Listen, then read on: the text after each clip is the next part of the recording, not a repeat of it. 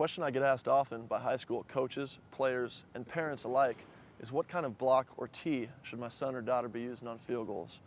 I'll tell you the best answer is if you can use it, use it, and that means the two inch block.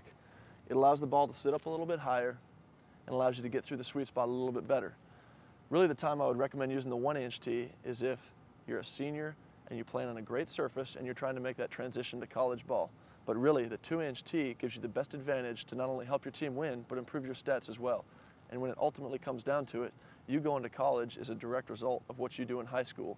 And if you can gain an advantage by using the two inch tee, I would say do it.